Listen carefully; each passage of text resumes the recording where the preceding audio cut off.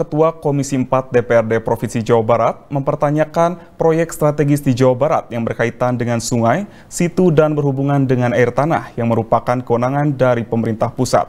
Komisi 4 menekankan beberapa pendapat proyek strategis pemerintah Provinsi Jawa Barat yang ternyata belum memiliki izin dari pemerintah pusat, namun sudah dikerjakan padahal belum mengantongi izin.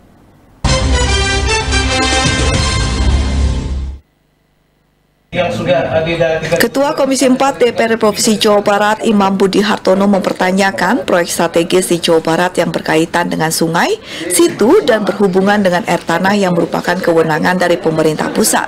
Imam menekankan terdapat beberapa proyek strategis pemerintah Provinsi Jawa Barat yang ternyata belum mendapatkan izin dari pemerintah pusat, namun sudah dikerjakan walaupun belum mengantongi izin. Imam menekankan DPR Provinsi Jawa Barat melalui Komisi 4 pun berharap izin dari proyek segera dikeluarkan dan pengerjaan di lapangan bisa ditunda terlebih dahulu hingga izinnya keluar namanya situ, sungai, laut itu kewenangan pusat. Sementara ada pekerjaan-pekerjaan strategis yang dilakukan oleh Jawa Barat. Ternyata dalam rapat koordinasi ini baru terungkap izin-izinnya belum dikeluarkan. Sementara pekerjaan sudah dilakukan.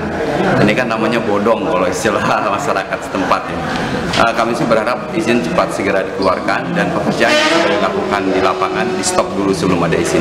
Pun dinas semua yang ada di Provinsi Jawa Barat ini jika melakukan pekerjaan memang harus ada izin orang yang berwenang atau lembaga yang berwenang. Kalau belum ada izinnya jangan dilakukan. Ini namanya liar. Humas DPRD Provinsi Jawa Barat melaporkan. Harusnya ada koordinasi antara